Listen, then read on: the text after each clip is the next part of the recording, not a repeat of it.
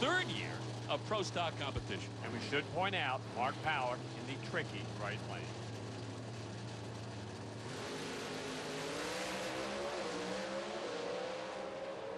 Oh my. Pawuk in trouble. Bang, hits off of the near side retaining wall. You saw what happened is that car actually became semi-airborne.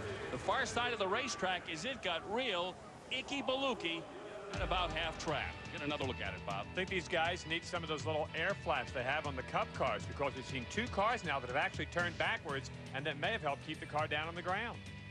Watch now as heavy contact for the Summit Racing Pontiac. Back of that car pretty much totaled. Let's go to Bob Frey. Marky, what happened?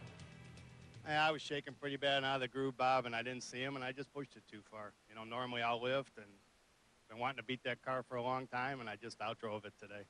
It's pretty nasty out there. You know, this is this track has a real narrow groove, and the right lane isn't as good as the left lane, and uh, I mean, it's my fault. I just pushed it too far.